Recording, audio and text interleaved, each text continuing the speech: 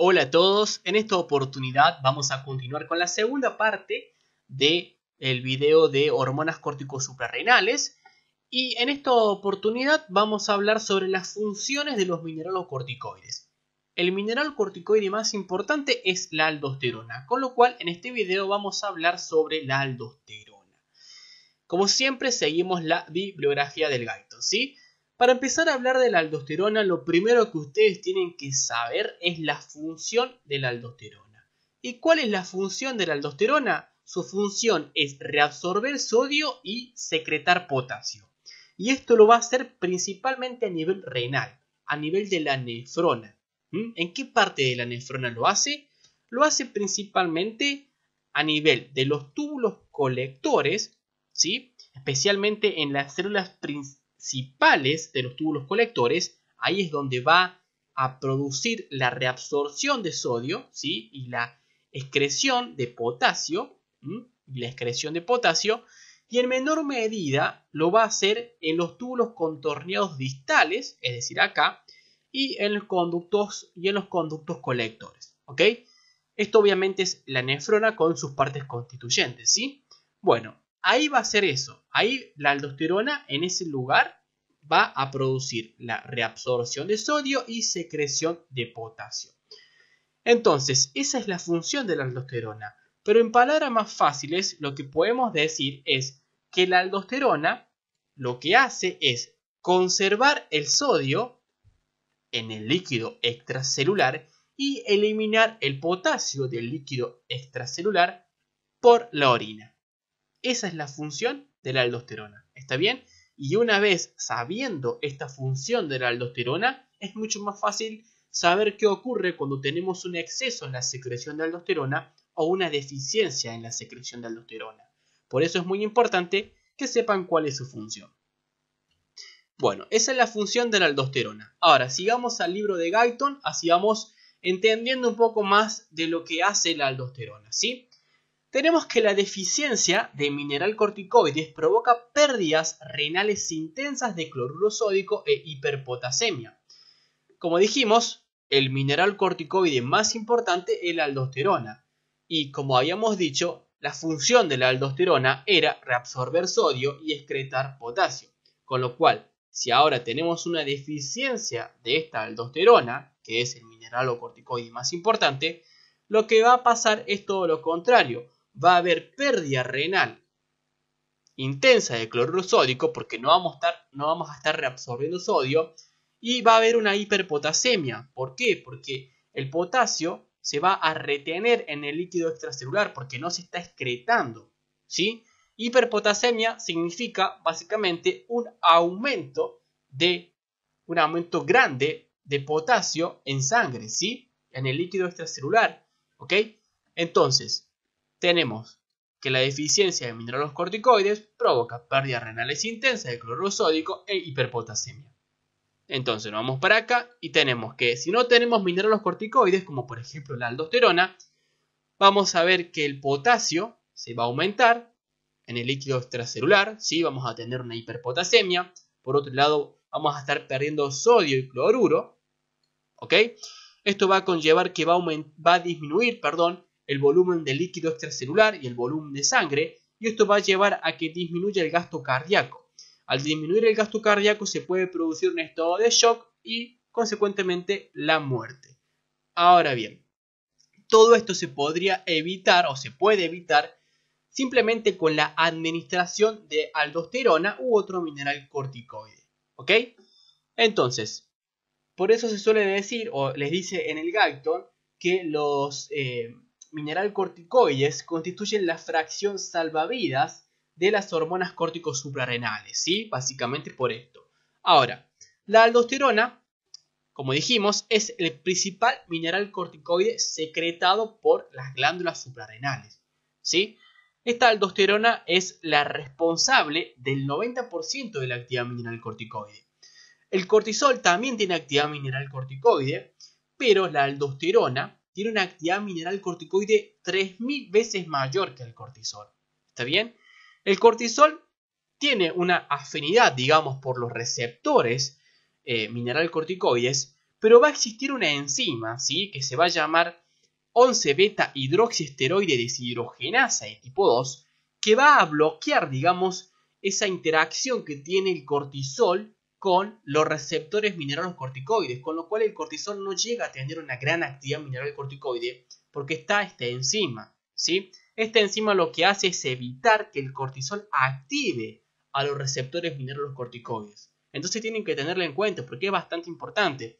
Entonces, dentro de, de las acciones que hacen que esta enzima evite que el cortisol active los receptores de mineralocorticoides, una de esas acciones es que esta enzima convierte, ¿okay? convierte al cortisol en cortisona. ¿ok? Todo esto lo hace a nivel de las células epiteliales renales. ¿sí? Convierte el cortisol en cortisona y la cortisona es un compuesto que no muestra avidez por unirse a los receptores mineralocorticoides. Con lo cual, gracias a esta enzima, el cortisol no tiene una potente, digamos, actividad mineral corticoide. ¿Por qué? Porque esta enzima está bloqueando esa unión del cortisol con los minerales corticoides. ¿Ok? Ahora bien, ¿qué pasaría si tenemos una deficiencia de esta enzima o, hay algo, digamos, que está bloqueando esta enzima? Si tenemos una deficiencia de esta enzima, por ejemplo, una deficiencia genética, lo que va a pasar es que vamos a tener una gran actividad mineral corticoide que no va a ser producida por la aldosterona, sino que va a ser producida por el cortisol. Y a esto se le llama el síndrome de exceso mineral corticoide aparente o SMA. En este síndrome, básicamente las concentraciones de aldosterona eh, son bajas, ¿sí? Pero eh, la actividad mineral corticoide es bastante alta. ¿Por qué? Porque la enzima esta está deficiente, con lo cual el cortisol sí puede unirse a los receptores mineral corticoides, con lo cual el cortisol ahora está dando una gran actividad mineral corticoide. Entonces la actividad mineral corticoide en este síndrome no es por parte de la aldosterona, sino que es por parte del cortisol. ¿Está bien? Eso es como otro dato que lo pueden tener en cuenta, ¿sí? Ahora veamos los efectos renales y circulatorios de la aldosterona. Como habíamos dicho en un principio, la aldosterona, la función que tiene la aldosterona es aumentar la reabsorción renal de sodio y la secreción de potasio. Es decir, que a nivel de los túbulos contorneados distales eh, y en menor medida a nivel de los túbulos colectores, lo que hacía era reabsorber sodio hacia el líquido extracelular y excretar potasio. ¿Ok? Es decir, favorecer la eliminación de potasio. Entonces, si tenemos un exceso en la secreción de aldosterona, lo que va a pasar es un incremento de estas funciones. Es decir, vamos a tener un aumento de la concentración de sodio a nivel del líquido extracelular, porque vamos a estar reabsorbiendo más sodio, y una disminución de potasio a nivel del líquido extracelular, porque vamos a estar eliminando más potasio. ¿sí? Esto en cuanto Así tenemos un exceso en la secreción de aldosterona. Ahora, supongamos que tenemos una ausencia total de aldosterona, es decir, no estamos eh, secretando nada de aldosterona. Lo que va a pasar es todo lo contrario, vamos a tener una pérdida de sodio en el líquido extracelular porque no vamos a estar reabsorbiendo sodio, ¿ok? Y vamos a tener una retención de potasio porque no vamos a estar eliminando potasio. ¿Sí? Ahora, el exceso de aldosterona aumenta el volumen del líquido extracelular y la presión arterial, pero ejerce muy poco efecto sobre la concentración de sodio plasmático. ¿Cómo es esto? Básicamente, cuando tenemos un exceso de aldosterona, se va a aumentar el líquido extracelular. Y si aumenta el líquido extracelular, también va a aumentar la presión arterial. ¿Ok? Y vamos a ver qué efecto tiene este aumento de la presión arterial pero ejerce muy poco efecto sobre la concentración de sodio plasmático. Y vamos a ver por qué hay muy poca concentración de sodio plasmático a pesar de haber un exceso de aldosterona. ¿sí?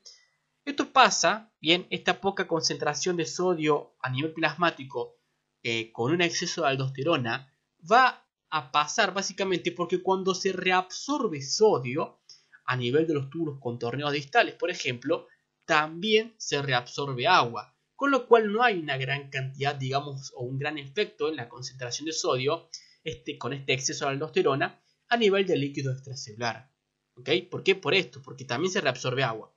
Ahora, pese a esto, pequeños incrementos de sodio en este líquido extracelular van a poder estimular el mecanismo de la sed y con esto el consumo de agua, ¿sí? Esto va a promover lo que es la secreción de la hormona antidiurética, ¿ok? De la hormona antidiurética, la cual produce la reabsorción de agua por los tubos renales y colectores de los riñones, lo que va a aumentar el volumen del líquido extracelular, ¿ok? ¿Por qué? Porque estamos reabsorbiendo agua a nivel de los tubos renales y esto aumenta el volumen de líquido extracelular y va a aumentar la presión arterial. Ahora, tenemos conceptos muy importantes que son natriuresis por presión y diuresis por presión y el escape de la aldosterona. Y tiene mucho que ver con esto del aumento del, volumen del líquido extracelular y del aumento de la presión arterial. ¿ok? Cuando tenemos un aumento o un incremento del volumen del líquido extracelular que es causado por la aldosterona que se, que se prolongue digamos más de uno o dos días, va a inducir un aumento de la presión arterial. Es decir, si tenemos un aumento del volumen del líquido extracelular, consecuentemente se va a aumentar la presión arterial. Y esto es un mecanismo compensador. ¿Por qué? Porque al aumentar la presión arterial, ¿sí? lo que va a hacer es elevar o aumentar la excreción renal de sodio ¿ok? La excreción renal de sodio o también llamada natriuresis, es decir, aumentamos la presión arterial y también se va a elevar la eliminación de sodio a nivel renal, ¿ok? Por este aumento de esta presión arterial. Y también va a aumentar o se va a elevar la eliminación de agua eh, a nivel renal, que esto se llama diuresis, ¿sí? Y como fue causada por el aumento de la presión arterial, le llamamos diuresis por presión. Entonces, ¿qué es la natriuresis por presión? Es básicamente cuando hay un aumento de la presión arterial, se va a elevar la eliminación renal de sodio por este aumento de la presión. Y la diuresis por presión es esta eliminación de agua por este aumento de la presión arterial. Y que recordemos que este aumento de la presión arterial era causado por un aumento del volumen del líquido extracelular causado por un exceso de aldosterona. Perfecto. Entonces, esto es como un mecanismo compensador, ¿sí? Se aumentó lo que es el, el volumen del líquido extracelular por un exceso de aldosterona, aumentó la presión arterial y este aumento de la presión arterial aumentó la natriuresis, eh, es decir, aumentó lo que es la excreción renal de sodio y la excreción de agua de sodio, para poder volver a sus eh, funciones normales, ¿ok? Entonces, también podemos decir que cuando el volumen de líquido extracelular aumenta del 5 al 15%, también lo va a hacer lo que es la presión arterial, va a subir entre un 15 o un 25 de milímetros de mercurio, ¿sí? Entonces, como podemos observar, esta elevación de la presión arterial lo que hace es normalizar las pérdidas renales de sodio y agua, que son producidas por lo que es el exceso de, eh, a pesar, digamos, del exceso de aldosterona, ¿sí?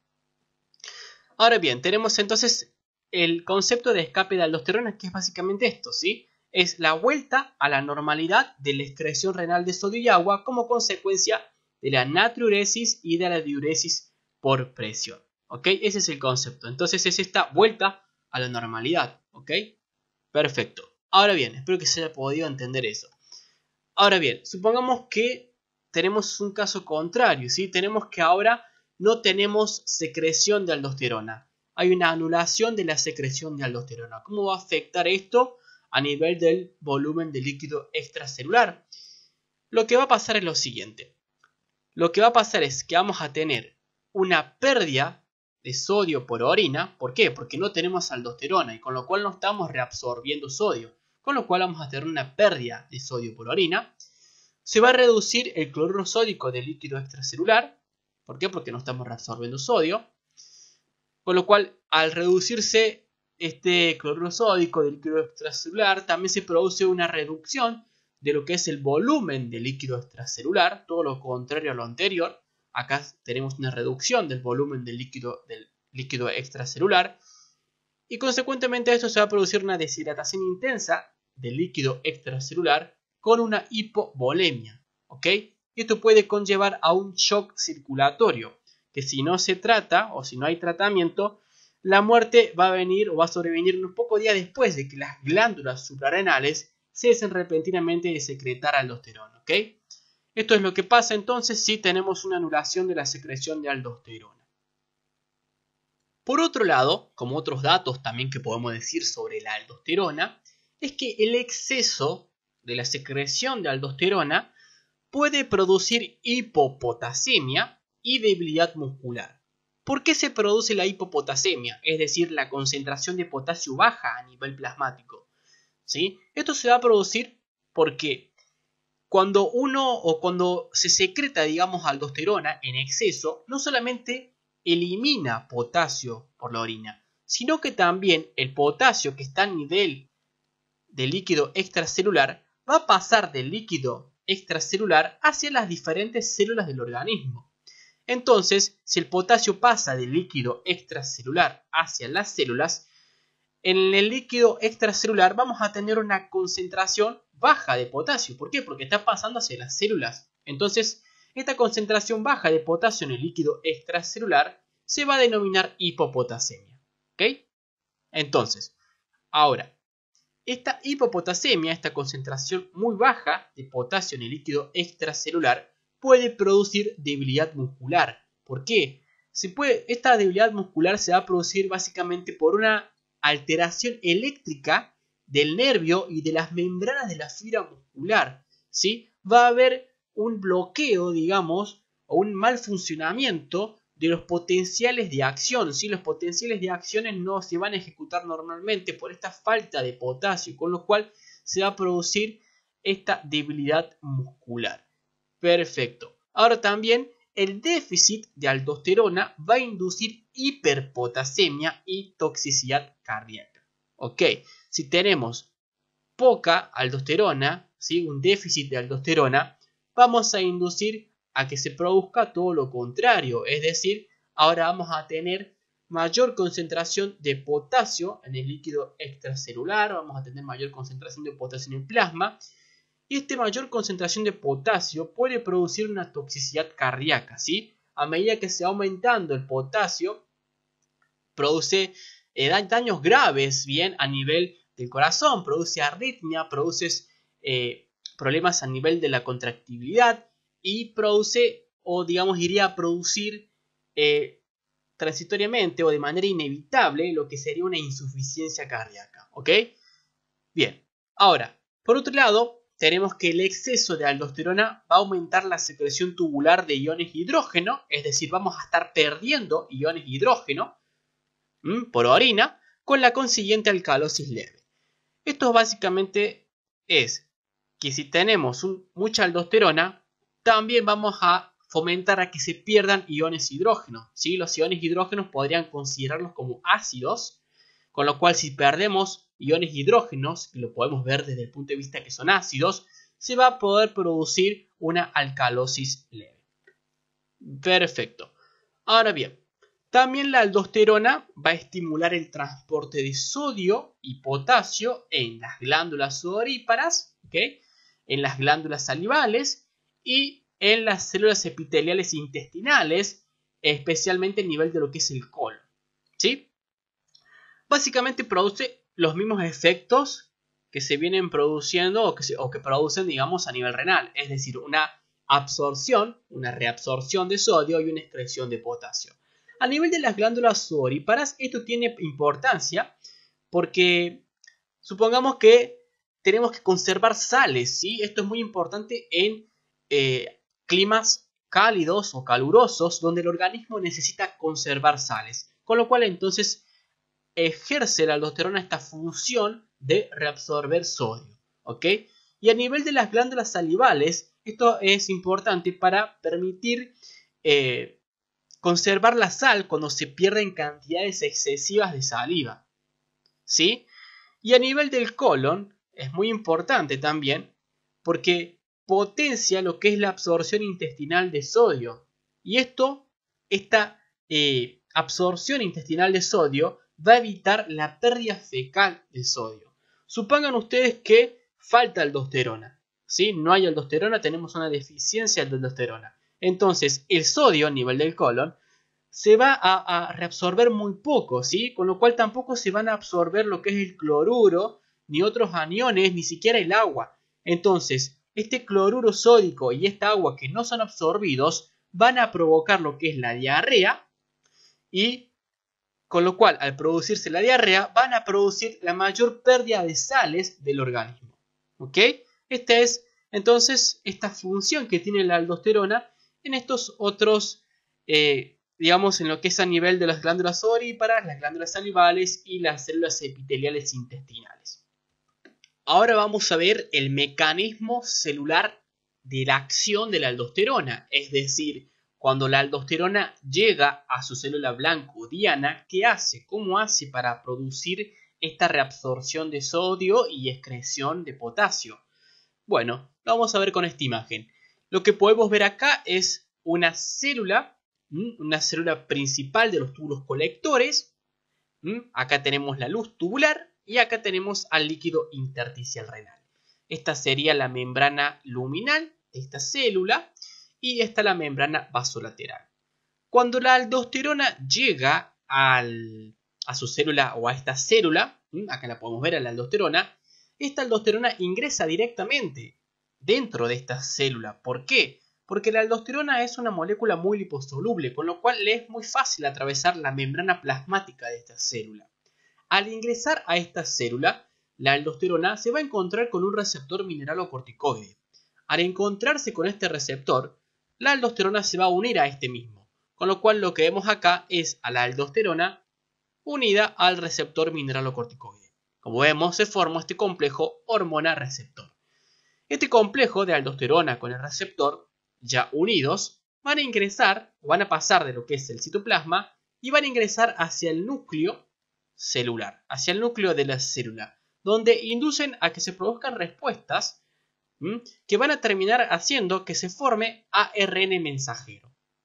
¿Sí? Este ARN mensajero va a salir del núcleo hacia el citoplasma y va a ir, obviamente, hacia los ribosomas, donde va a poder sintetizar proteínas, ¿sí? En base a el ARN mensajero que se produjo en el núcleo. Entonces salió el ARN mensajero, fue hacia sus ribosomas respectivos y se produjeron proteínas. Ahora bien, estas proteínas pueden ser canales, como este que vemos acá, el ENAC, que son básicamente canales de sodio, ¿sí? que están acá en la membrana luminal, que se insertan en la membrana luminal. Este canal lo que hace es permitir el ingreso de sodio desde la luz tubular hacia la célula y también puede producir enzimas. Enzimas como por ejemplo la enzima eh, trifosfatasa ¿sí? Eh, de adenosina de sodio-potasio, que es una enzima que actúa como elemento principal de la bomba sodio-potasio. ¿sí? Como vemos acá tenemos a la bomba sodio-potasio en la membrana vasolateral que ingresa potasio y saca sodio. Entonces, esto es lo que hace la aldosterona cuando ingresa a este tipo de células, a las células principales de los túbulos colectores. Como vemos, forma un canal de sodio. Este es un canal de sodio epitelial que se inserta en esta membrana luminal, el cual permite la reabsorción de, sodio, ingresa sodio hacia el interior de la célula y este sodio puede salir por medio de esta bomba sodio-potasio, la cual saca sodio, saca el sodio e ingresa potasio. potasio es excretado luego hacia la luz tubular donde es eliminado por la orina. Ok, como pueden ver, acá también tenemos a esto que es la espironolactona, es un fármaco que es utilizado como diurético por las acciones antagonistas que tiene de la aldosterona. Y luego tenemos eh, este otro fármaco que podemos ver acá abajo, ¿sí? la amilorida, que es otro fármaco que lo que hace es bloquear a las eh, proteínas del canal de sodio epitelial, ¿sí? bloquea este canal, este fármaco. ¿ok? Entonces esto es básicamente el mecanismo celular de la acción de la aldosterona. Y para finalizar el video y este repaso, digamos, de este capítulo, de esta segunda parte de este capítulo de Guyton, vamos a ver algo muy básico de la regulación de la secreción de aldosterona. Vamos a ver aquellos componentes que, digamos, influyen en, en lo que es esta secreción ¿sí? de aldosterona. Son cuatro factores, muy generalmente vamos a hablar de esto, ¿sí? Uno de ellos es el incremento de la concentración de iones potasio, ¿sí? Este incremento de la concentración de iones potasio en lo que es el líquido extracelular va a aumentar mucho la concentración, perdón, la secreción de aldosterona, ¿sí? Entonces, al aumentar los iones potasio en el líquido extracelular, aumenta la secreción de aldosterona, ¿sí? Luego tenemos que el aumento de la concentración de angiotensina 2 en el líquido extracelular también incrementa la secreción de aldosterona. Esto es el mecanismo renina-angiotensina-aldosterona. Y luego tenemos que el incremento de la concentración de iones sodio en el líquido extracelular apenas puede reducir la secreción de aldosterona y también necesitamos de la hormona ACTH de la adenohipófisis o hipófisis anterior para que se pueda secretar la aldosterona. Estos son los factores, digamos, que eh, regulan la secreción de la aldosterona. ¿sí? Tengan en cuenta que es muy importante este sistema de renina, angiotensina, aldosterona y los iones de potasio. Y esto fue un resumen del capítulo de Guyton de las hormonas córticos suprarrenales. Esta es la segunda parte y en la tercera parte vamos a terminar de completar este capítulo.